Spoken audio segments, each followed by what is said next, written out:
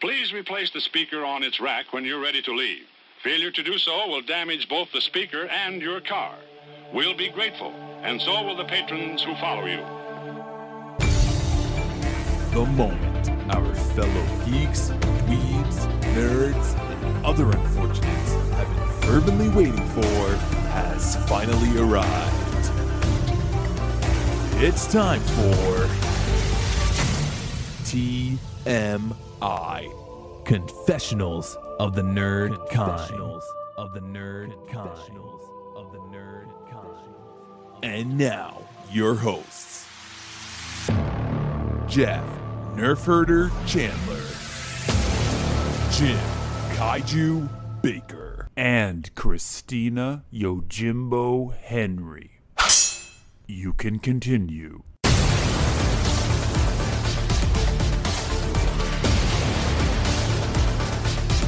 And now, let's get on with the show.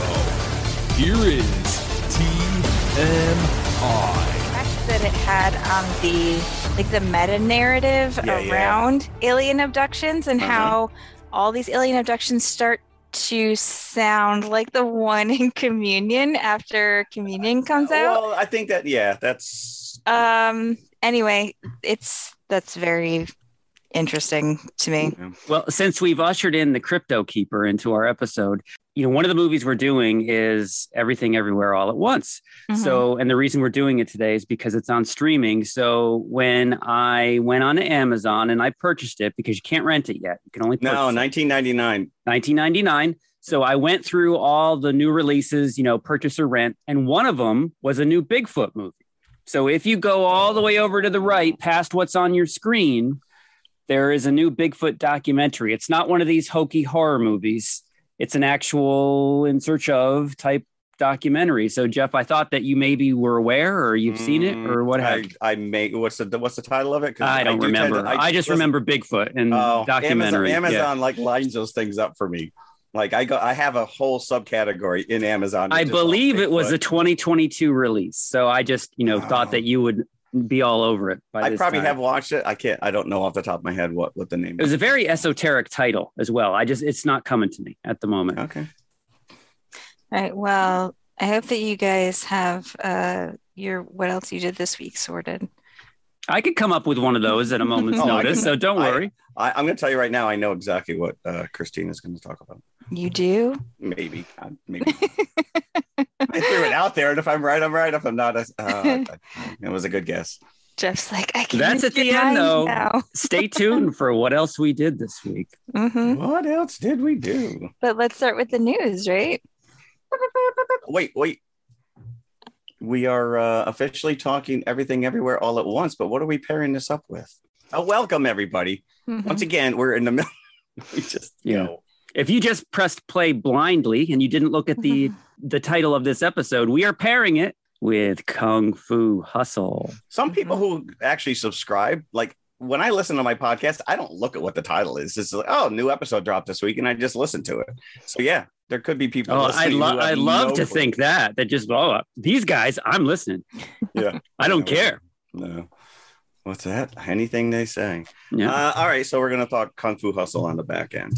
So uh, yes, we do have a little bit of news, so uh, we'll get into it. Um, this is actually going out to my buddy Rich, who does listen to us religiously, but he is purposely not listened to our Spider-Man No Way Home yet because he has not seen it. He is Come on. he is one of the few people on the planet, and he claims that it has not been spoiled for him, which I am just blown away. But it is getting a re-release in the theaters. Well, this is specifically for him. Darth Yeah, Vader. may be the only one. Oh, Darth no. Vader is Luke Oh. Skywalker's uh, second cousin, half removed. Hmm, former roommate. Uh, this is referred to as the more fun stuff version. And Sony is re releasing this, Marvel's re releasing this uh, in theaters September 2nd with additional footage. So if you haven't seen it yet, you can go and see this, or uh, you can uh, go watch it again because I think it is streaming, right? It is streaming. Right. Absolutely. Well, here's here's my take on it, which is they are now sitting at number three in domestic box office gross of all time, and they're only like 54 million below uh, Endgame. I think they're just looking to bump their numbers. That's all they're doing. Yeah. they've got they've got added footage, you know, that usually ends up on the on the back end of a Blu-ray disc, and they're just adding it back in. They're actually referring to this as a fan cut. So did like some fan get a hold of this and just cut it together and be like, oh, I want to see this. So it is being re-released back in the theater, and uh, it'll probably climb to number two. Do you want any uh, any guesses as to what the number one? This is all factoring in uh, inflation and all whatnot. Number one uh, box office gross of all time movie. Domestic only? Uh, this is domestic. Yes, correct. I'll give you a hint. It came out in 2015. Was it the first Avengers movie? No, No, I don't remember when that came out. No, drawing a blank. Star Wars: The Force Awakens. Oh, you know, it's funny. I should have known that because this came up in the context And of if- Jurassic World this week, Mm. where my son and I were talking about how 2015 was like this sudden slew of like reboots and requels. And we were talking about Force Awakens and we are talking about Jurassic World. They both came out 2015. And Creed Mhm. Mm. also came out that year. Yeah, And now we- we're seeing this whole re this whole surge of legacy characters. Now, this is Yeah. funny that you should mention this type of a conversation because years and, you know, thinking about in regards to when things came out and all that, oh, that was a good year. That ended for me like around 1999. Everything Yeah, is well. blended into itself. I couldn't Yeah, tell you stop. what was released in 2015. it's you know that's funny because uh, we were with a bunch of people uh, most who i've only met once or twice and we got talking about uh, movies and the fact that i can usually nail the release date just with the title. And yeah it- when you start getting into the 2000s it's all just a big murky bloody mess. I'm like ah, 2005 or 2020 i don't remember. So anyway so if anybody's excited that is being released back in the theater.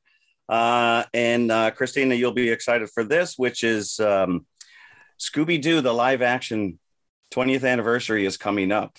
And Yeah. Airbnb is celebrating by offering up a one night stay in the Mystery Machine. Oh, yeah. Oh, yeah. So this is going to be in Malibu, California. Mhm. Matthew Lillard is actually going to, he's promoting this, and I guess he's going to do some is he kind of is he the concierge for the night? he does greet you in the video screen. Right. Um, so it's just the van. You're basically sleeping in the van.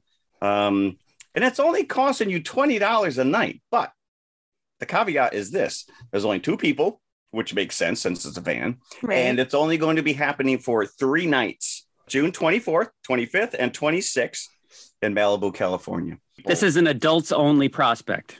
Well, I, yeah, I mean, unless you, you know, dad's going to take his kids, but it's all you can eat snacks. There's going to be mystery games, and then obviously there's going to be a Scooby Doo viewing. Mystery. But it's just going to be, Hey. it's just going to be twenty bucks. All I have to say is if the van is a rocking, Wow, don't come knocking. red one raggy. uh, and Scooby Doo was actually on last night, so I was watching it, and I'm like, I don't remember any of this, except for the fact that Scrappy Doo was the bad guy at the end. Oh, the live action one. Yes. Yeah, I mean, I still prefer watching like any animated movie to Oh, the I agree. to yeah. the live action Yes, one, yeah. but um I actually feel like the second one was closer in vein to the cartoons than the first one. I mean, don't get me started on how great Mystery Incorporated is. Oh, oh my gosh, this just br- brings back a story. Um, I was sitting at my desk at work one day, and there was a guy that was sitting on the other side of the partition from me. I couldn't see him, but I could hear his phone conversation. And this is Oh, right no. when the first Scooby Doo came out. And needless to say, he doesn't work um, c- at my job anymore. But the conversation was all about the first Scooby Doo. And he was like, dude, Scooby Doo, number one this weekend, all time. And I don't know exactly what the um, particulars were, but apparently for that weekend, the opening gross did set some kind of a record. And he repeated at least four times, Dude, all time. No, no, all time. I'm telling you, until all tomorrow. time. And that, I just leaned over and I said, Did you tell him all time? Are you being facetious? Is he that concerned that he misheard you? So there you go. That that's uh those are my only two news items. Should we get into everything? We We're, should- talk- we're talking Hold on, everything. Hold on, I, I got to just prepare myself. Okay, let's go. It's really too bad this isn't this isn't a have video visual. feed. This isn't a visual I medium. could not. I swear to. So I slapped an eyeball. I thought I could have swore my kids have a whole bunch of like craft stuff in the closet. We have to have googly eye somewhere. Mhm. I tore this closet apart. I got glitter all over the place. My wife is laughing. She's taking pictures and sending it to my kids. Look what your dad just did. You just turned your back to the camera and were dabbing your head. I thought you were sweating at this early I into am- the I am episode. sweating. It is very hot in here. Usually I have my fan on. Ah, if my third eye blinks out, uh, just uh, call someone to Mm. resuscitate me here. The amount of work that Jeff went through just to have a one second joke on us. Listen, Just- it's just all for- the just for our And Nobody benefit. can Just see for the so two of us. matter. But it made you chuckle. That's all. This is the only reason I do this show is to make you laugh. So uh, I'm out of here. Mic drop. Boop. Everything, everywhere, all at once. We've been talking about this for a very long time. Yes, and it is finally on streaming. So I think Christina um, saw it like a year and a half ago. year and a half ago. Did you watch it again for this episode? I did watch it again because I, spoiler alert, I loved it. Um, I saw this movie the first week it came out. So I saw it in March. The day after I saw it, I think you were on vacation, Jeff, and I was talking to Jim, and I said that for the first time in such a long time, I felt like I was having like a really ecstatic experience at the movie theater. theater. Yeah. I love films where the filmmakers take big chances. I want to see a movie where people take risks and go out there and try to really do something different, something that you haven't seen before. And um, this film sort of hits all of those buttons for me. It was a packed theater. I will note though, this is a rated R film. And there was a couple in front of us who taught who brought their two pretty Nice. young children. Uh, And there were a few Apparently, they thought it would. They thought it was an MCU movie. Mhm. You know, Well, this this, is, this has to be tied into Loki somehow. there were a few scenes. The little girl looked like she was about seven. There was a few scenes where I just really hoped that she didn't understand what was going on. Well, there are oh, some. know what you're talking there are now, some. yeah. No, no, no, no, no. There are some visceral um, visuals in this. Yeah. So I don't know if you could mistake what was movie- going on. I hope this movie changed that little girl's life. And she's like, "This is this is art. This is what." Yes. Was, was there at least a parental hand over the eyes? yeah, No. the dad was No? covering his eyes. No. Dad, I'm afraid. Shh, just watch. Just watch it. Yeah. Uh, note to Marvel. This is how you multiverse. Yeah. I mean, this, movie is is amazing. Well, well, This this, is- is, yeah, produced by the Russo brothers, so it does have a Marvel connection in some way. It could, Yeah. you could argue that it may be taking place in the MCU. It could easily. the The ideas, the concepts are are the same. They're the multiversal Eh, concept. uh, the concept, but the execution is It's very different. It's very the, different. The, the execution on this, the artistic integrity, and you know, I'm reading a bunch on on the tech because this has got to be an editorial nightmare to edit this stuff together. And we'll get it on the back. Nine people, including the directors, did all the special effects themselves. Five full time. None of them uh, had any uh, FX experience. These guys were like Googling YouTube videos and how to do this stuff. Well executed. It Well, is I a think beautiful. It- it is, and the special effects are amazing, and the the the the concept is just head turning. But what sets it apart, I think, is the characters and the journey of Evelyn, and that's done very nicely. Yeah. So Yeah. it could be, you know, it's it's besides the point that there's all these amazing visuals and everything going on. Oh, they no, tie yeah, it into a you great to- story. right. That's what makes it so. Yeah, you Good. need to care about these characters in order to make this work, especially the relationship between um, you know, the two the two parents. and like it's so much of it is rooted in Evelyn's relationship with Joy. And in so many ways, like Evelyn's character is such a very typical middle aged woman where she's trying to do so many things and she's Mhm. not doing any of them well because she can't give anything her full attention. You know, and she's trying to be a caregiver to her father who rejected her earlier in her life. Very demanding old man, by the way. Yes. Mm. she's trying to she's trying to still care for her daughter, but she's not doing that well. You know, No, she- but the kid's also at a very rebellious age. right. so she's trying to take Yeah. care of her business.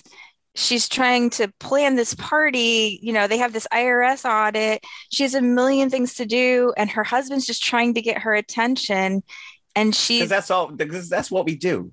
Yeah, it's all about Mm. us. We're selfish jerks. Pay attention to me. Look at me. I'm over here. Stop. Stop what you're doing. she's Look at me. she's overwhelmed. She's overwhelmed Yeah. by her life, But- and and she's and you questioning, that. and she's questioning. You, see that all play out in the first 10 minutes. yeah, You- but the you see beautiful thing is, is like it- the, the husband uh, Waymond isn't like you know this sad sack who's you, you feel sorry for because he's in the same boat. He's unhappy as well, and he's actually going to serve her with papers because of it to do something about the situation that they're in, and he's very sorrowful about it. You know, maybe he's gone uh, a few steps too far because it seems like he hasn't even discussed this with her, and he's got the divorce Can, we- papers can- in his can hand. someone give me a proper pronunciation for this actor's name, by the way? it's Ke Huy Quan. Uh, mm-hmm. this is short round from Indiana Jones and the Temple of Doom. Yeah, or Data from Goonies. Data from Goonies. Uh, where has this guy been for the last 30 years? Because He's- he kills it in this movie. I So he loved him. chose to take time off of acting. He worked as a mm. stuntman. a long time off from yeah, I know. but he chose to take time off of acting and part of it was that he said that there aren't a lot of lot of great roles. roles. for asian actors and it's Yeah. true and it, he's so good in this. Yeah, and there's so many things that i love about his character including in so many ways he's a flip of the kind of masculine character that you normally see in movies where he's he's very relentlessly positive you know? And he's tr- in the end he actually the the whole denouement hinges on his speech about being kind to one another Yes. but that Kill is- him that with is a- kindness. but Kill that him is with the mantra kindness. we should all adhere to. well it's And- nice because it's you know the solution isn't like beat your problem into submission which is the solution of every marvel movie right it's wow, that's well, when you got a hammer and a shield, that's what you got to do. it's let's not beat the problem into submission you know let's let's be kind to one another let's love each other. Well, this I is actually um where Jamie Lee Curtis's character Deirdre she's I think Jamie Lee Curtis is a revelation in this movie. She's amazing. But she's so hurting inside you know in all of her iterations she feels so unloved Yeah. and the fact that she feels unloved like drives so many of the things that she does yeah, I liked it that she didn't just turn into a caricature. Like every iteration of her, like even in the reality that we're familiar with, that we start off with, where she's the worst, where she's just auditing them and is, are going to take them through the legal hoops, she gives them two second chances, even in that reality. yeah. And it's partially because Waymond shows her kindness, right? He brings her cookies and with has little smiley faces on them. And she also sees that she has much in common with Evelyn. Yeah. She's like, when my husband served me papers, I drove the car into the Mhm. kitchen, right? It's like once you know her history in this universe and in the other universes too, you really see how her loneliness drives her and drives her actions. The whole thing, all these characters are existing in a space, but none of them are connecting. You know, Joy doesn't feel connected to Evelyn. Evelyn doesn't feel connected to Joy. Evelyn and Waymond don't feel connected to one another. And poor Uh, Gong Gong, nobody feels connected to him. Yeah, no. Right. Well, and he had rejected Evelyn for marrying Waymond. Yeah. You know, and she was so hurt by that because her father let her go. So they're all sort of existing in this physical space, but they're not together emotionally. And that's really what this movie does is it's about the journey that they all have to take to in order to connect with one another again. Yes, and they have to do that through uh, various multiverses as well. So, like I was saying, this could be an MCU story, you know, just turned on its head. There is uh, a being traveling through the multiverse that apparently, from what Evelyn is being told, wants to end everything. Jobu, Tupaki. Now, Mhm. this could be Kang. You know, this could be a Yeah, variation yeah, of no, Kang, right? Um, and of course, Jobu is joy. So Mhm. the physical manifestation of Jobu is joy. The the way that this the multiverse here is set up is that these characters, uh, Evelyn's husband of Waymond comes to her from another reality during their audit. And Alpha says that Waymond. she is the one. It's like, Alpha, you know, yeah. Neo in the Matrix. You're the Yeah, I was gonna one. say, there, there is a ton of Matrix references in this. Mhm. And as there are in Kung Fu Hustle, which is great. Yeah. But you're the one, and uh, you're the Evelyn that we're looking for to save the multiverse, the realities. And so he gives her like a really quick lesson about the multiverse. You know, we can jump into bodies like I'm jumping into your husband's body in this reality, but I'm coming from another reality where you discovered the multiverse and you're no longer alive. And Gong Gong is also in with Waymond in uh, in the command truck or whatever they're in in the in their multiverse. So that's where really where it goes from. So you're now looking at these same characters that you've been introduced to, jumping into their bodies from other universes. So they become they're still the same, but they're different iterations of that character. And The Evelyn is seeing different versions of herself at the same time.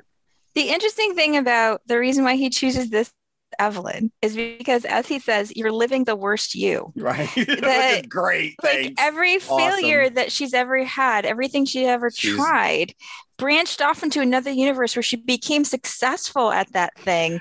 this but is she- heartbreaking when she see when she sees like like she literally at one point comes back and she says to her husband, "I saw my life without you, and it was fantastic." And she asks one of the Waymonds, "Can I just go back to where like the movie star was? I want to be that." Evelyn's like, "No, no, Which I thought was brilliant because that is like footage of her probably crouching It is. tiger hidden uh, Yeah. dragon or something, winning an award.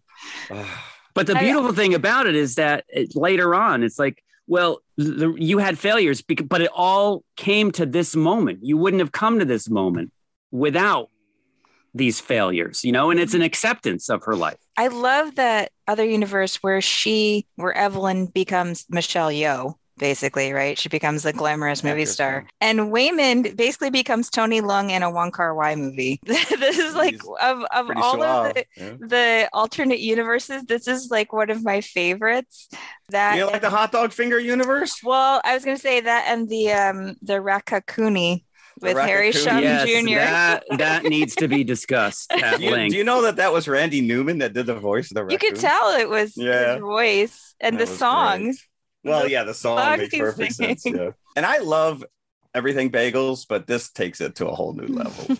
Mm. So, I love that when Evelyn's trying to explain about Raccacoonie and she has Joy taped to the chair and Becky calls and she's like, My mom taped me to the chair because of raccoons. yeah. I thought that was hilarious. Her mistaking Ratatouille for. Mm-hmm. Rakaku. So that would have been enough. Like I thought that was great. But then the fact that they expand Yeah. upon that multiple times, it keeps coming back. So there's a reality where there is a Raccacoonie, where it's a raccoon controlling the chef instead of a little rat. And there's when Evelyn goes into that reality and sees him for the first time in the kitchen and the raccoon's on his head, he goes, the raccoon tells the chef, kill her. She's seen Right. too much. there are so many throwaway little sight gags and jokes in this. This is this is a gift. I, I immediately wanted to rewatch this as soon as I was done. Well, Yeah, here's the that's- thing. That was the issue that I had with it is that it was it was almost like a, a the greatest sumptuous dinner that you can imagine, but it was too much for you to eat at that time. You're gonna have to come back to it. It is very long. I will say that uh, against it, it is like because it's broken up into the three chapters, everything, everywhere, all at once. And when we get to the second chapter, I'm like, we're only on the second chapter here. It, it is much, The But, third yeah. chapter is short, but still, it is a long movie. but I think it pays off. I like I think it oh, don't! I think it that- I think I'm that gonna- it earns the the length. Did you appreciate Yeah, it more the second viewing? and like Jeff said, there's so many things to kind of look at and see. Um, things that like you just would miss the first time around. Even just a little thing like in the first shot of the Alpha verse, when the van is driving on the road, there's a sign that says "Hail Bagel," which I didn't yeah. catch the Right. first time, and even if I did, it wouldn't It wouldn't have made any sense because you didn't know anything about seen the, bagel. everything bagel yet. But yeah, there's so many things to see and so many things to look at. And the thing that you really appreciate, you certainly appreciate it the first time, but really the second time around is how physical the roles are for everyone. And by that, I don't just mean like the action and the fighting, but how the physicality of each actor changes based on whatever person they're Universe, seeing.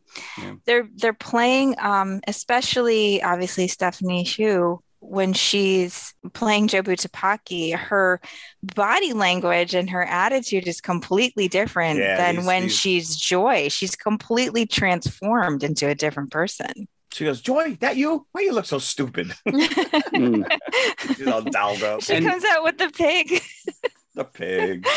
I did like the um at the beginning the uh the girl that comes in the customer with the little dog to get her clothes and Jenny was, Slate. the tag was the tag the tag was 42 and I'm like oh, that's a nice little uh Mhm.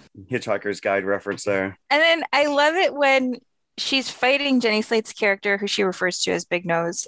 The scene is funny because they keep Evelyn keeps doing more and more ridiculous things, and Joy and Waymond are watching this, and they're like, "What is she doing?" They're like, "I think that if she does something weird, that she gets more powers." So then they start throwing out suggestions, like, Right. "Dude, jumping Dude, jack." Mhm. jumping jacks. Now, this, you got to explain this to me because this kind of got lost. Evelyn seems to be able to do anything weird and it triggers. It's like a jump pad or a leap pad, as they call it, to leap into another reality. But the others have to do something specific that they're told to do. you know so they could do anything else as well, right? Any if it's stupid, they don't have to jump on a plug up their posterior. buttocks. That was a little disconcerting by the way. So Waymond explains that it's like about probabilities, right? So when she initially is learning, he gives her like three options, right? She can tell Deirdre that she loves her. She has to mean it. She can take a nap. and he's like, Do you feel like napping right now?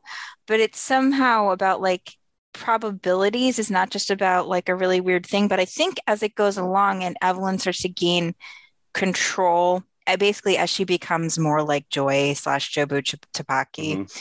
she doesn't need the same degree of extreme probability the other characters do Mm, in order to access those abilities because she's already starting to access all of her selves everywhere just like joy is I did read the directors at one point were leaning toward uh, having Evelyn uh, have undiagnosed ADHD, which gave her this distracted ability to be able to somehow tap into this other universe. Hmm. But I don't, it, it never plays out in the movie itself. They don't really go down that road. But yeah, no, once she realizes or figures out how she can do that, then then it's like game on. What's interesting was I was listening to an interview with Michelle Yeoh right after this movie came out, and she was talking about how one of the reasons why she wanted to do this film was because it was so counter to so many other things that she does. She's like, I, I'm always asked to play this sort of like serious, elegant kind of character. And then she went blah, blah, blah, you know, and you could just tell Mm. that she was like sick of playing that one type of person and that this role really gave her a chance to do something very different. Although, obviously, like she's done a lot of martial arts in other films. So that part wasn't uh, new for her. No, Mm. but it's new for the character. So Yeah. it's fun when Yeah. she learns it and you watch her unfold this, especially with the pinky, you know, that whole scene. Yeah, that was great. Whenever You know, she brought out the pinky. That fanny pack fight was, and he did most of those stunts himself, by the Yeah. way. Well, Yeah, that 'cause was he's a stuntman. undeniable, right? Because I'm looking at him like that is him. That's Well, him. He's doing this. There are some cheats where they they they CG'd his face onto the stunt double, but I think he did like 80% of those stunts himself. Mm. But yeah, uh, whether or not you you realize that the actor can or can't do those, it's fun to see these characters tap into this and become those type of characters. And what's fun for me is, and this happens in most fantastic fish out of water type things where the character has to invest in what's being told to him or her. When Waymond from the other universe is trying to tell her about Jobu, and she's like, You're just making up sounds now, you know? yeah, I don't I don't think you could properly describe this to somebody. And I don't think it's for everyone. Unfortunately, IMDb, there's plenty of detractors out there. Someone referred to this as a very bad Rick and Morty episode. So Very Take bad take- Rick and Morty episode. That's Yeah. harsh. yeah, it is harsh. Is that just like a Um, view? That, that's not like a real reviewer, though, right? That's just I don't know. They- Listen, anybody who can post something on, you know, that's the whole point of IMDb. Yeah. For what it's worth, when I saw this in the movie theater, like half the theater spontaneously burst out applauding at the end of the film. So But I think when you see when Mm. people know, you know, when you go to the theater, and Yeah. you're going to invest your money, you kind of know what you're getting in for. This is my type of movie. There are other people who, you know, either whatever, why you're There are paying other people who, yeah, I was gonna or- say they choose to buy a, a film that yeah, they know well, sometimes about. people, you know, sometimes people are like, oh, it's gotten great reviews. Let's let's go watch it. Mhm. Christina, I think that you ran into some of those people yesterday, judging from the text that we got. Um, well, you're talking Jur- Jurassic Let's World, talk so about that next week, though. different audience. But um, but I think that you had the advantage because, like you said, you saw this on opening weekend, so you still had, even though obviously you knew what you were about to see, you knew what it was about. You had that sense of discovery, and you come out of this wanting to tell the world.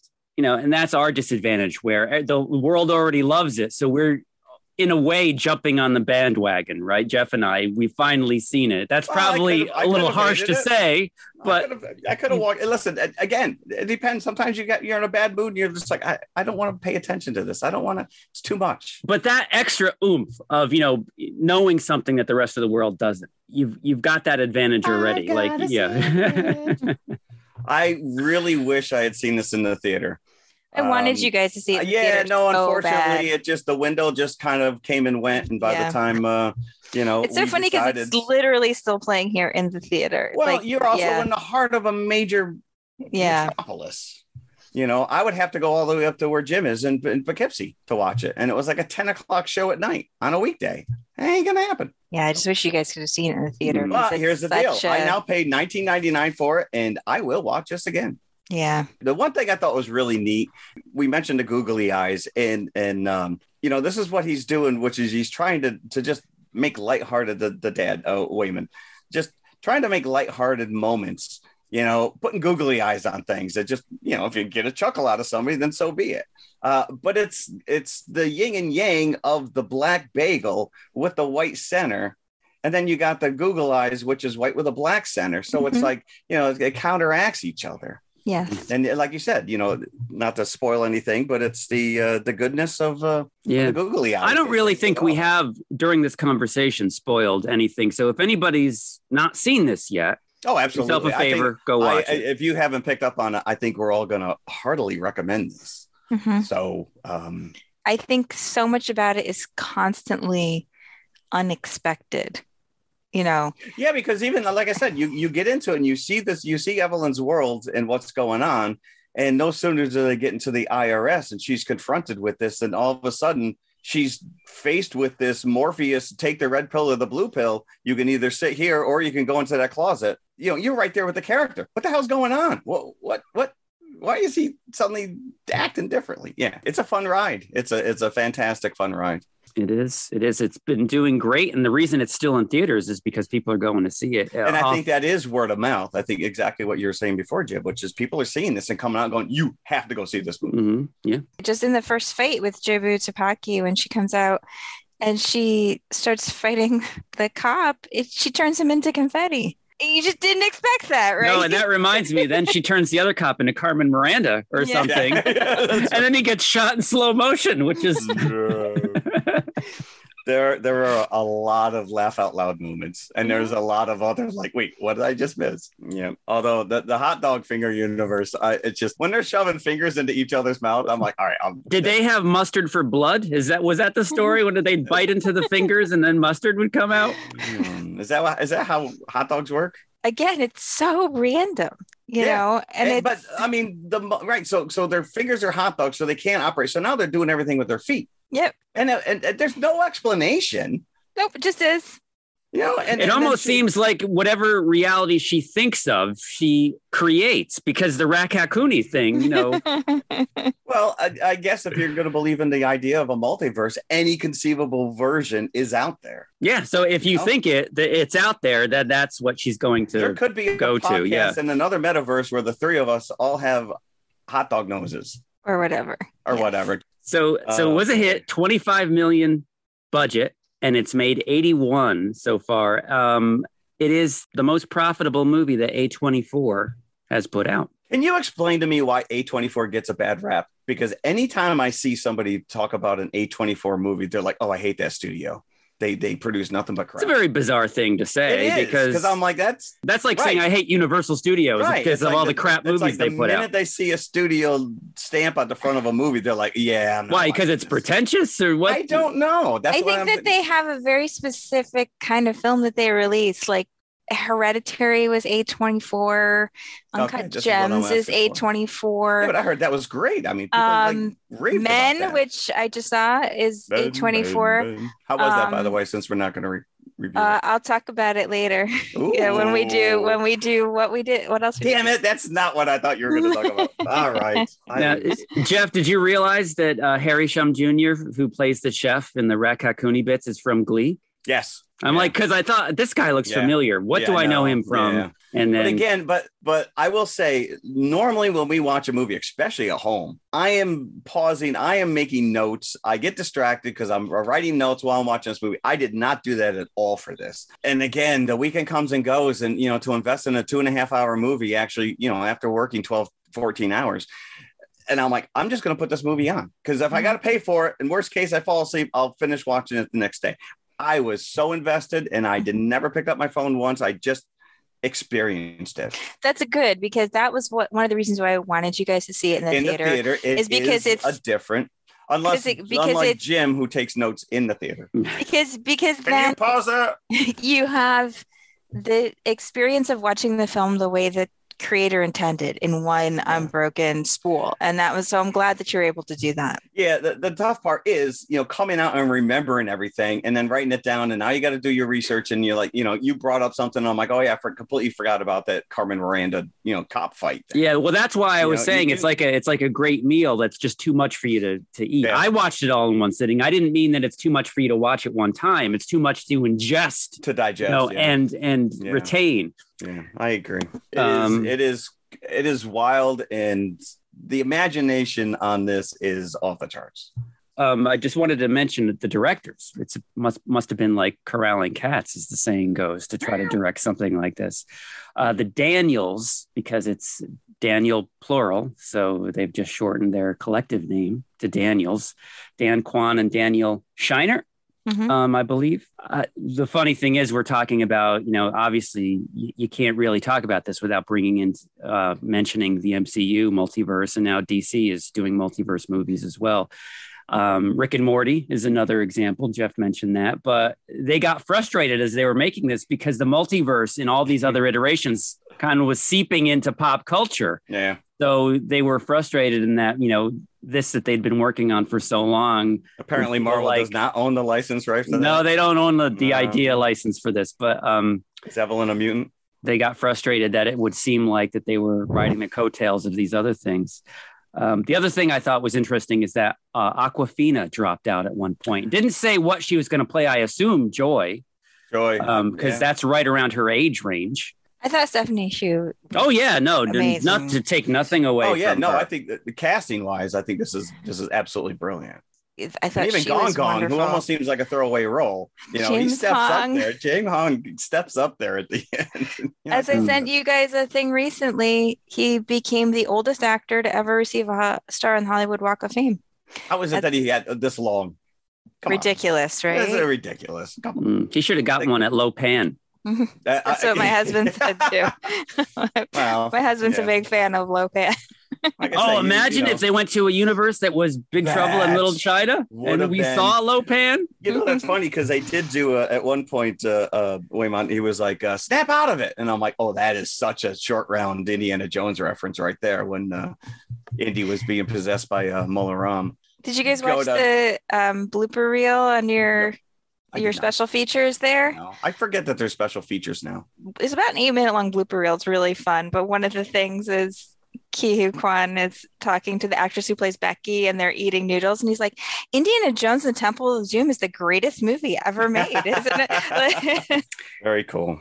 I did see it's there's different titles for this in different countries. And I don't remember what country this was, but the translation basically says mystical woman warrior f- the universe is the title. And I'm like, That's that's pretty perfect. spot on. That's Yeah. What country can get away with that? I don't know. For the most part, reviewers are just falling over themselves, giving this praise besides you know the one that you brought maybe up, they Jeff. have hot but- dog toes. My favorite was from IndieWire, an orgiastic work of slap happy genius. Wow, I couldn't even come up with that. I really felt like good. I was walking on air when I walked out of the theater Yeah, after yeah. seeing this. Just especially because there had been a like a pretty long streak before that where I'd mentioned to you guys like we keep we kept watching movies and I was like, eh, it was okay. Yeah, yeah. Eh, it was okay. yeah. Like it's okay. You know, we saw so many movies in a row where I just sort of felt meh about them. Not that they were bad, but they just didn't move me. And this moved me so, so much. it's very life affirming when you walk out. It, it is, Mm-hmm. you know, you talk about it before, which is, you know, the the Deirdre character.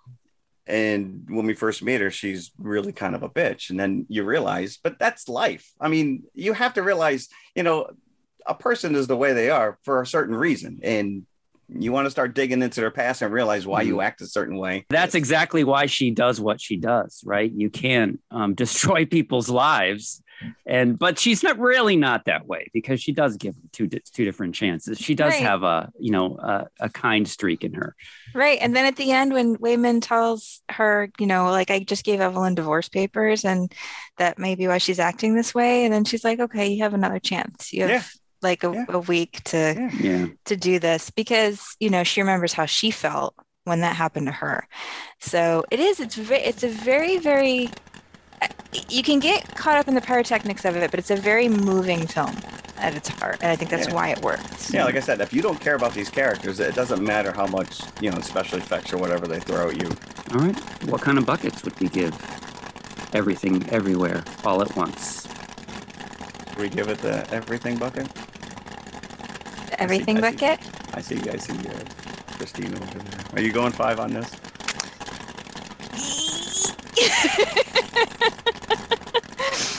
maybe It's pretty close. I don't know if I'm Yeah. willing to give it five buckets right away, but I will go four and three quarters. It's too long. That is the one detraction I will say. Is it, it's a little much, but uh, it's a hell of a journey. I'll give it four because, like like I said, it was. I I think it was too much to ingest all at once. The first time, you got to earn a five bucket over time, and Christina's already seen it twice, so um, Yes. I completely understand if that's her verdict. But um, yeah, I'm gonna go with four on my first viewing. I really loved it. I really did, and I, I really appreciated the uniqueness of it and the performances and the the human story at its And heart. the ambition of it all. Yeah. Yeah you're cramming a And lot in here.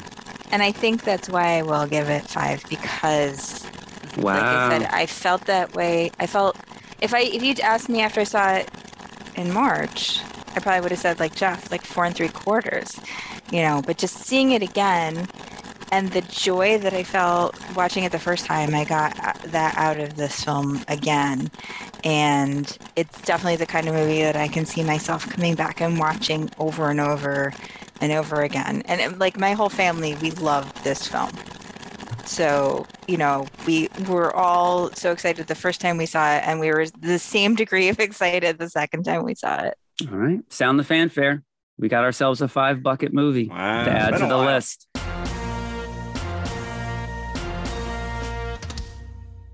It's been a while. So um, let's move from everything, everywhere, all at once, and go a few years back to Kung Fu Hustle, and we'll be back after the concession stand. So join us.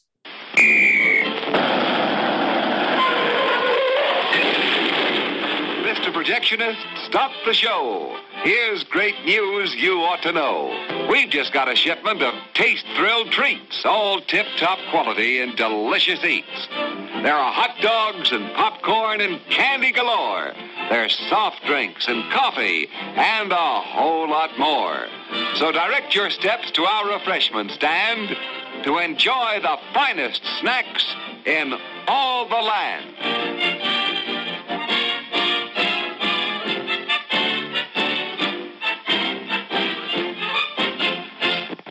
All right, we're back and we're talking Kung Fu Hustle. Now, Christina, this was your pick after you had seen the first time Everything Everywhere All at Once. And You this know. is because there's a few reasons. When I first saw Kung Fu Hustle, which interestingly I actually saw at the exact same theater where I saw Everything Everywhere All at Once, um, just, you know, uh, 18 years apart. The first time I saw Kung Fu Hustle, I had the exact same walking on air feeling that I had leaving the theater after Everything Everywhere All at Once. I felt like it was so it played with so many existing tropes of kung fu films, but at the same time, it was something completely fresh. It was completely new. It had this like insane energy that I loved. And um, I ended up going back to see it in the theater twice more because I loved this movie so much. I own it on DVD. I watch it all the time. This is just one of my all time favorites. I felt that tonally it could sort of match the energy of everything everywhere all at once. Yeah, I think you're absolutely right. I remember seeing Kung Fu Hustle in the theater as well and loving it. And for one reason or other, I haven't seen it since that first theatrical viewing.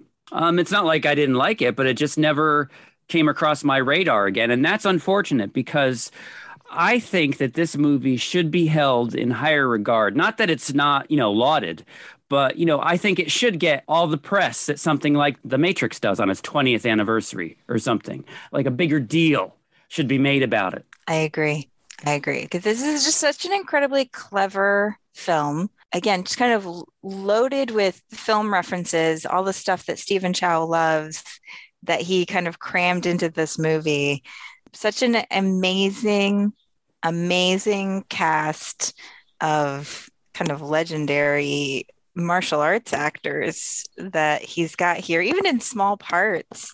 The opening sequence uh, I, like sort of sold me right from the start when I saw this film because it's so it's so gorgeous this sort of rise of the axe gang that he plays out in this you know little montage where so you see this little gang beating up a commissioner of police and I love the sign in there super crime fighters the crocodile gang and then they come out of the police station and they're confronted with this very large gang, the Axe Gang. And the leader of the Crocodile Gang throws up this flare to get everybody else to come. And then the leader of the Axe Gang, whose name is Brother Sum, says, you know, don't bother. We already recruited all your men. And then they take down the Crocodile Gang. And then you sort of see this rise of the Axe Gang in power, and it's played out through all these like different still shots of various crimes they committed, and it's intercut with this beautiful, beautifully choreographed dance of Brother Sum starting off by himself with his axe, and then all the gang members kind of come in and join him slowly over the course of the the the kind of opening. It's almost like a little prologue before you get to the actual action of the film. It's so, so unexpected. You move to this place called Pigsty Alley, which was like sort of the, it's sort of the big set of the film. And most of the action takes place here. And Stephen Chow said he actually had designed this based on like this very cramped apartments he lived in when he was a kid in Hong Kong. I read this because, and I was looking for references to this set because when I saw this in the theater and it just hammered home when I watched it again that it reminds me of the cutaway um, of Shakespeare's Globe Theater. Mhm. So it's very reminiscent of that. You know, although it does cut away, obviously this opening is not does not take place in Pigsty Alley, and there's other scenes that do not take place in Pigsty Alley. But I could almost see it as like a a one set theatrical presentation, you know, where Mhm. the characters are just on this Mhm. set. Yeah, I mean, you could you could totally see that, and like I said, the vast majority of the action does take place there, and it's incredibly, it's incredibly complex because you know, as a director, you have to think about like you're doing all this action in this large space with all of these people performing various tasks, and in this whole movie, there's always stuff happening in the background. Yeah. Like every, pretty much every shot, there's something else to see. The whole, the sort of inciting action of the film is these two characters, these two sort of loser characters. Um, Loosely. yeah. they go to try to scam a haircut basically out of you know, this barber in Pigsty Alley. They try to pretend that they're members of the Axe Gang Mm. and they try to like get a free haircut and shake this kid down for money. Who apparently him a cannot afford a belt because mm-hmm. this kid's Or buttocks, underpants. this butt, Or his underpants. buttocks are com- always hanging out of his There you pants. go. He was ahead of his time, by the way. Stephen Chow's character, he's like, he's amazingly fast on his feet in terms of like fast talking. And he's trying to like talk his way out of it. And then the various members of Pigsty Alley come to confront him. And he spontaneously throws a firecracker, which blows up the hat of an actual member of the Axe Gang. And this sets off the action of the whole film where the axe gang comes in. Stephen chow's character says oh well you know i'm one of you and basically laying the blame for the firecracker on the people in pigsty alley. And then because the axe gang starts to threaten the people there these three martial arts masters who'd been living undercover um, the tailor the baker and the coolie all sort of throw off their disguises and fight the axe gang to defend the people in the in Pigsty Alley. So this is a lot, also a lot to take in in the first 10 minutes of this movie. You're like, what? Now, who's this? Who's this? Who's this? But Mhm, what we haven't talked about yet is before the actual Axe Gang shows up mhm. and they're scamming the haircut, the Pigsty Alley comes to the aid of the barber. Sing comes out. He's like, I'll fight any one of you. Right. And like one guy stands up and he's 10 feet tall. Not you. Sit down. Yeah, right. Sit down. Four eyes. I'm, I'll fight you. And then he gets up and he's like Arnold. He's like, sit back. No, I didn't mean you. I meant Right. I meant that kid over there. And then he looks like Arnold. So you're thinking to yourself because it's not revealed yet that these are not actual Axe Gang members. Th- these guys are pretty inept to be in an Axe Gang, and Mhm. Yeah. then finally, you, you know, then the, the real gang shows up. Be like, oh, okay. This that was probably my favorite sequence. Is and this is hilarious. This works on an action movie level. It works on a comedic level. It crosses genres very easily. Yes, and also I will say that I am always very touched by his story with the lollipop girl. I find it very, very touching because it turns out that Sing was, when he was a little kid, he bought like this supposed martial arts manual from a con man right? who, and then he became convinced that he was, you know, he was a gifted kung fu genius. And he went to try to defend this little girl who was being beaten up by bullies for they were trying to take her lollipop. Of course, he fails and then they humiliate him. And it sort of like sets the whole course of his life because he failed at this one thing again, there's sort of like so many great kung fu tropes in this movie. So, like, you have the boy who's a kung fu genius. Of course, it turns out, spoiler alert, he actually is a kung fu genius. Um, his chi flow was just blocked or something. Um, and, um, you know, you have the villagers who are like secretly kung fu masters because the landlord and the landlady are also secretly kung fu masters. Oh, the Slum Queen. Um, you have the blind assassins, which is like such a stereotypical kung fu trope. Um, you But have it's like, but it's the Blues Brothers. it's Jake and Elwood Blues. Yes, but also like if you watch any kung fu movie, there's always like some blind swordsman who's, you know, actually a master, Master, at, yeah. his thing, at his craft. You also have like the gang that's terrorizing the town, right? And the people have to overcome this. It- you know, it it also it has like this strongly unhinged kind of Looney Tunes quality. Oh, Oh. straight up Roadrunner cartoon in some. What, yeah, whenever the the landlady comes into it, Yeah. it, Mhm. it goes right into Gonzo cartoon land. You know, Oh, it's when they're Roger Rabbit. each other- when they're chasing each other, forget it. because you were talking about how um, they cast martial arts legends. Mhm. The landlord, I thought this was fascinating, was Bruce Lee's body double, Yeah, back in the Yuen Wah. day. I his mentioned stunt him double. Yeah, when we watched Shang-Chi because he plays Master Guangbo, the archer in Shang-Chi. he's in Shang Chi. Yeah, I didn't remember. I mentioned so, it when all right. we when we watched it because I was like, oh, Yuen Wah is in this because he's yeah, he's a legend. And he's amazing when he fights because he's almost like rubber. Pretty funny. I actually wrote in my notes, "Old man goes Shang Chi on their asses." So well, that's what's sort of interesting because, like, when it comes down to it, you see that the landlord and the landlady actually care about each other and that their Yeah. fights are almost staged as practice so they can spar. Like, which is interesting, you know, something you kind of notice the second time, second, third, whatever time around. Like, oh, well, they're actually sparring in secret, sort of making it look like it's mm, a fight. Mm. it's a fight. But there's just so many just really fun, unexpected moments in this film. And like I said, I I'm always very touched by the story with the lolly with the lollipop girl, the little mute girl, especially at the end. I cry every single time when the two of them appear to each other as they did as children. I think it's so, so sweet. And they're running a lollipop shop at Yeah. the end. Yeah, Yeah. that's cute. Yeah, I will say Um, the uh, the musical battle was uh, much more entertaining than the Doctor Strange. I, I was going to ask you, Yeah, Jeff, that- if you were more satisfied Yes, with this yes, musical very battle. Much so. Very much so. You mean you like it better when there's like scary ghosts with swords coming out of the Yeah, it was, it was fun. Yeah. The fact that they take out easily the three masters, because at that point, Sing Yeah, hasn't right. stepped up yet, right? So Yeah. he's not even close to being the, the kung fu master that he is at the end. Like, how are they going to beat these two guys?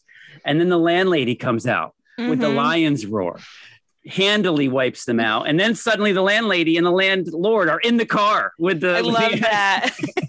They just appear.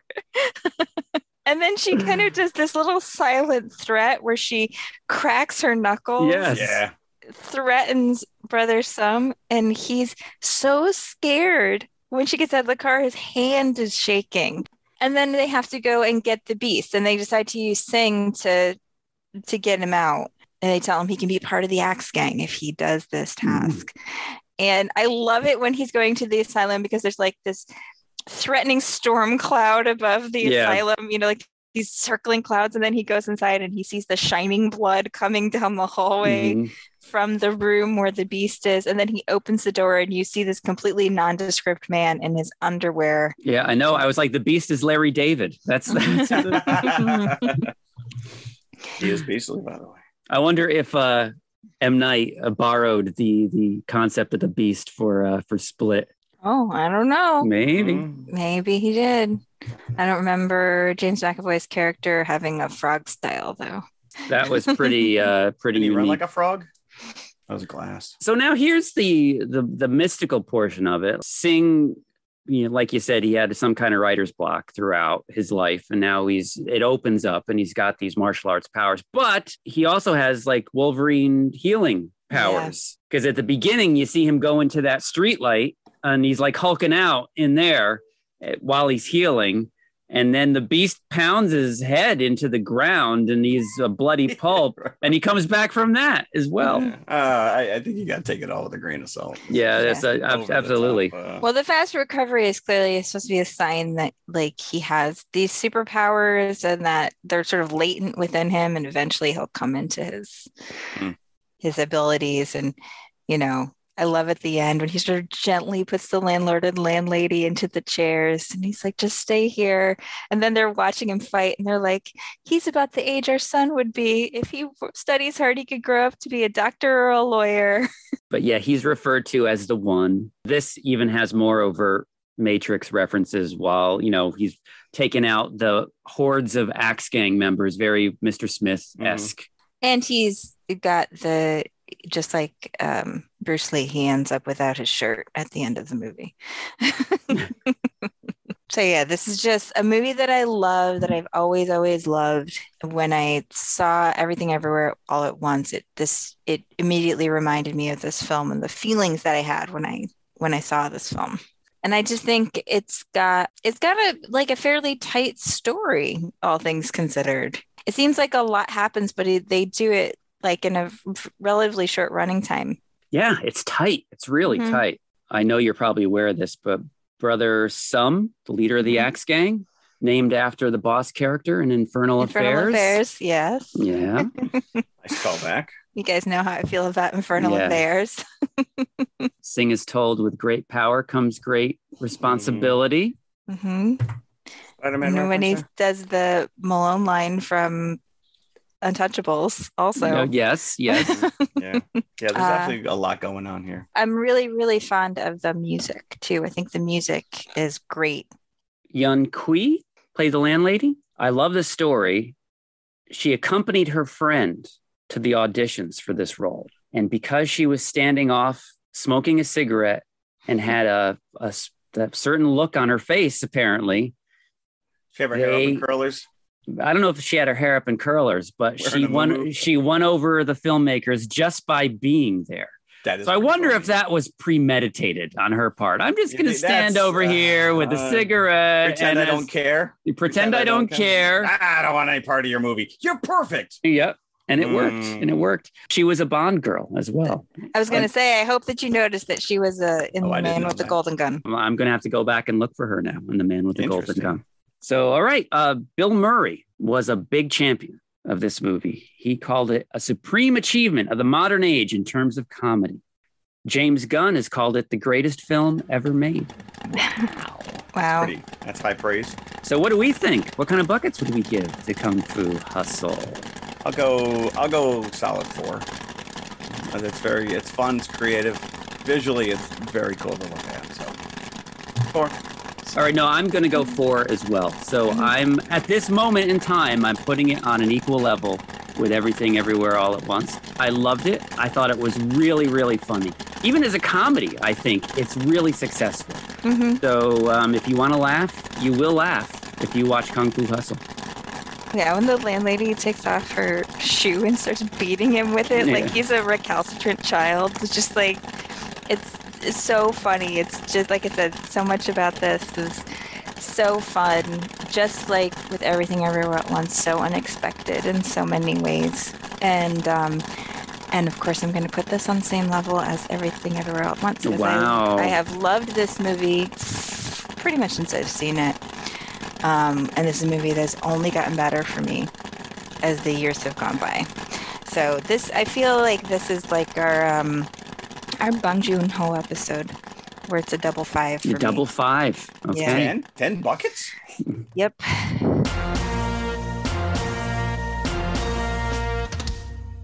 Yep.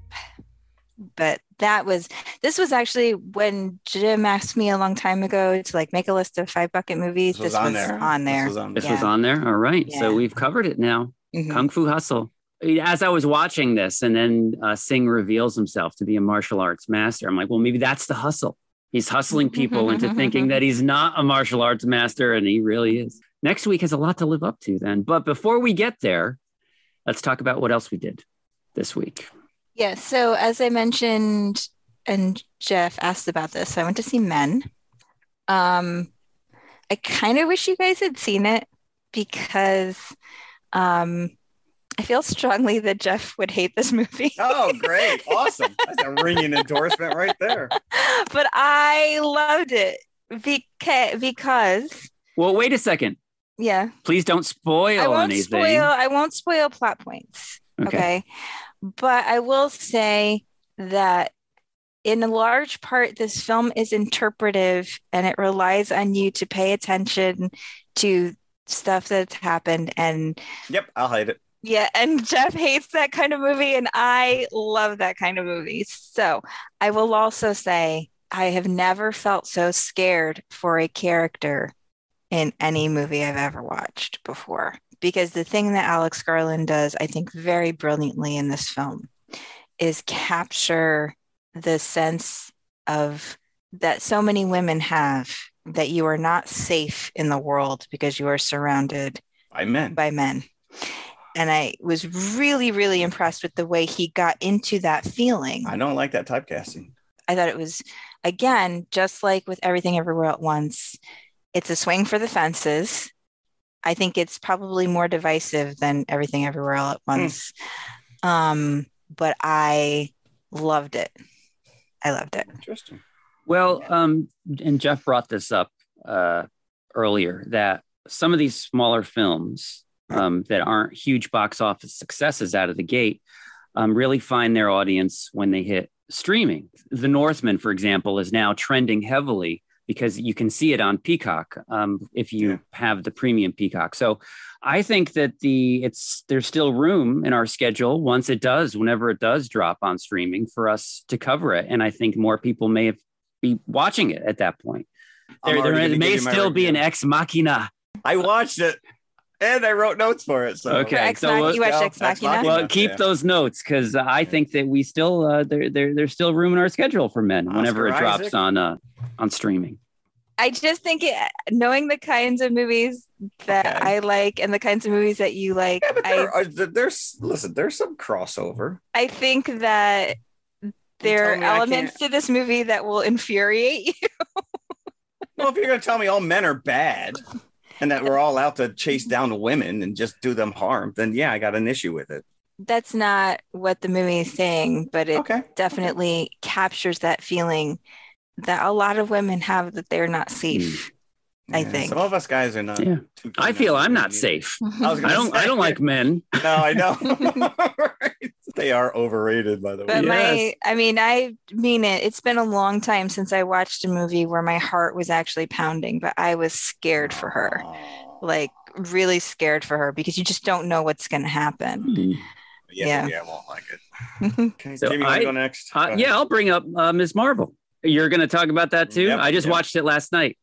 Kamala Khan, you know, another alliterative hero in the vein of Peter Parker and Kamala Khan. Love, love this show. The first episode, uh, anyway. Um, again, it's another Marvel show that I can sit and watch with my son. He loved it as well, which was very gratifying. So, and I know that this series is going to lead into the next Captain Marvel movie.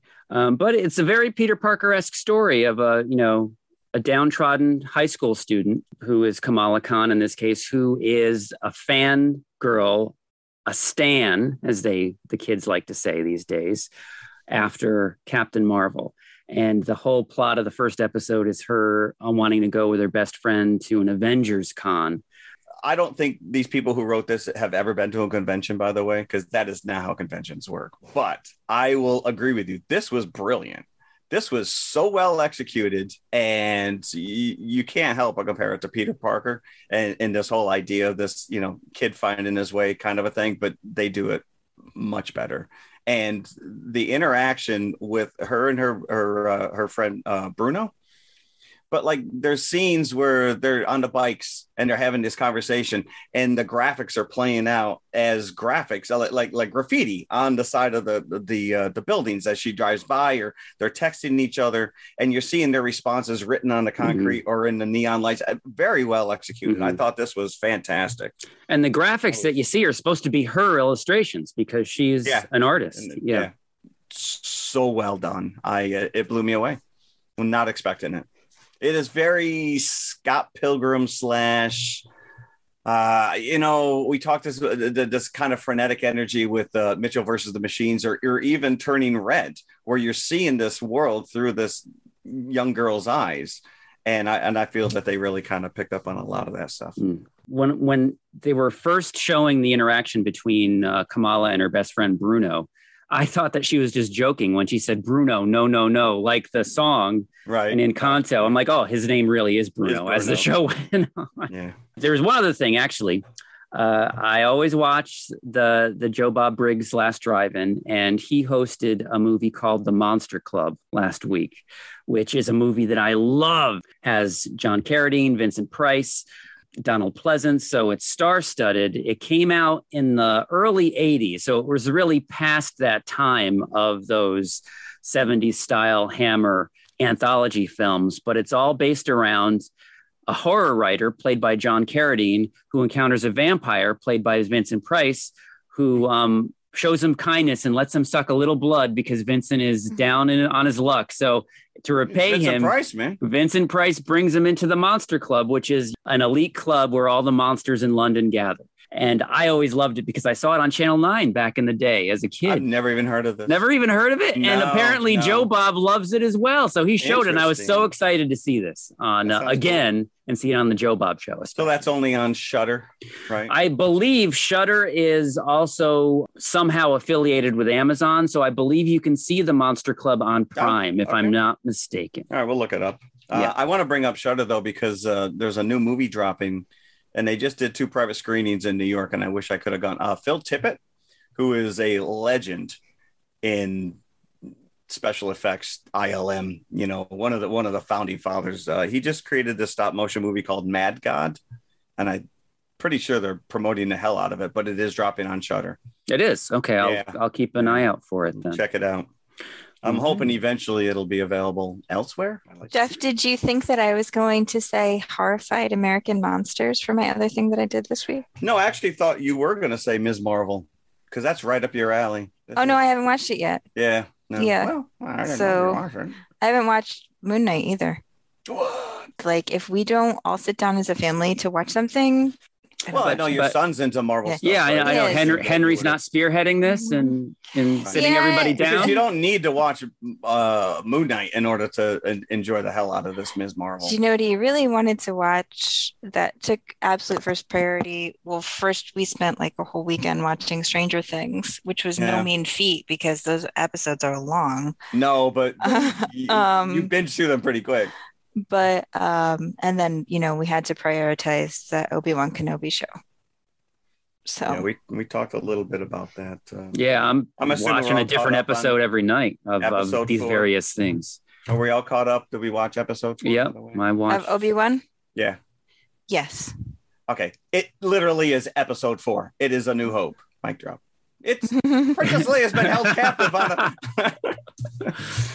it's the new hope. He's got to break into the Death Star to, to save Princess Leia. He literally does the same trick that he does when he when he's at the tractor beam to distract the, the stormtroopers. Well, She's I, very I, adorable, though. That She little is. actress who Uh, plays Leia. I enjoyed the retread of New Hope then much better here than I did in The Force Awakens. Well, I will tell way. you, in in talking with my son about this, and I started looking it up. Someone pointed out that every one of these episodes mirrors episode one, two, three, and four. So I can only assume that five and six will follow Empire and Jedi. Oh, that's interesting. Okay. Um, but you talk about this little girl who plays Leia. There is a photo of Carrie Fisher at that age with a little bird. It was her pet parakeet named Lola. And this little girl looks pretty spot on to what Carrie Fisher looked like at that age. And they went out of their way to make that little robot thing Lola. So Oh, well played. Well played. But now it's tracking them. yeah. Well, yeah. What, what did we learn in episode four? Yeah, they, they they'd let us go. It's So too easy. yeah, that was a little bit ridiculous though a when on and when some of the stuff is like Obi Wan like- had the big overcoat and she was walking Uh, under it. Come on, stop. Stop so it. but but they do say at the end we, well i let them go you know Yeah. so we could track them Yeah, so could track we're not that stupid You- Mhm. yeah, look that way. That, that's not them. He wasn't wearing a trench coat. but no the big takeaway was that that tomb at the bottom what, Uh, what are they doing uh, with those With bodies all the, with all the Jedi's. I didn't really. I there's some people speculating on. Well, we did hear Quinlan Vos's name, so there is a good chance that we may see him. and are we going to see liam neeson before the end of this You may And hear now- him. I think you may hear him. You know, I'm still holding out hope that we're going to see Mace Windu. I'm going to cherish this hope forever. I don't believe he's dead. they didn't show him in the tomb at least they mm-hmm. didn't show him in the tomb He's, he's lobbying hard to come back. And, and listen, if you can bring back Darth Maul after being chopped in two pieces, Right. I'm pretty sure that you can save Mace Windu after getting his arms cut off. That's what I'm saying. Like, you Yeah. didn't actually see him dead. And I, Nobody did throw him halfway across the city. That can't be a good landing. but you yeah but you can live- stop your he's a jedi He's a Jedi. Yeah, He's got no hands. Doesn't matter. He has the power of the Force. Doesn't he have Uh, hands for yeah. the power of the Force? That's where he's it comes le- out of. he's yeah he's still in the bacta tank somewhere you get somebody a bacta tank you can fix all sorts of ills Um, I'm just saying. I I'm still holding out hope that Mace Windu's going to show up. That is the yeah, dream listen, of that my would be life. awesome. That would be awesome. I, I do feel that Hayden Christensen being used is a waste right now. I know because you're not really seeing him. No, and I, in the I understand it is a stunt double in some of those suit fights, so it's not even him doing all this stuff. Well, It's we like- got two more episodes, so maybe they'll somehow work him in without the suit. May, you know, even if it's in makeup, if he don't don't have the helmet on. I do love the fact that they are both haunted by Padme, though. I love this, just kind of filling out, you know, just kind of gapping these two stories from the prequels to. I just want Mace Windu to show up and say there are too many mother effing Siths on this mother effing base. He's got to have little claw hands. Maybe he'll just shove a lightsaber. He'll go like full on uh, Ash. Just put a lightsaber there instead. Lightsaber on the end. There you Just go. attach it. Mhm. yeah. I don't know. Well, two episodes left. So Yeah. There you go. So what are we doing next week in our next watching episode? watching Obi Wan episode five. Uh, not for the main brunt of our episode, at least. We are Oh, we going could- I back think we to talk the whole episode. we're going back to Jurassic World. I am so excited for this, and I know that Christina's already seen it, so I can't even throw out speculation. poker face, please. Poker face. Oh, Do not it. even re- don't know. even reveal. I know. I just want to say right now, and this is the one thing that I've really liked Jurassic World. I liked what they did. They they took John Hammond's. We'll talk about this because you can't talk about this movie without talking about the entire franchise. And Jurassic Park is a five bucket movie for me. It is about as lean, and there is not a single scene wasted in that movie. You get right into the plot, you get the storyline, boom, gone. Wasted not bringing Lexi and Timmy back into this universe. And I think if they don't do it here, I'll be very disappointed. They've got to be in their 40s by now, right? Yes. You got one as a dinosaur expert, and the other one was a friggin' computer. Ex- oh, we'll up- see. Christina follow up on your- knows. Follow up on Christina your knows. grandfather's uh, dying dream there. Well, I, And- will- I will guess- say that in preparation to watch the new movie yesterday, I watched the whole franchise this week. And I started re-listening to the audiobook, the original audiobook, which I have not read the book since. I almost that was almost my first book choice, knowing that we were going into this.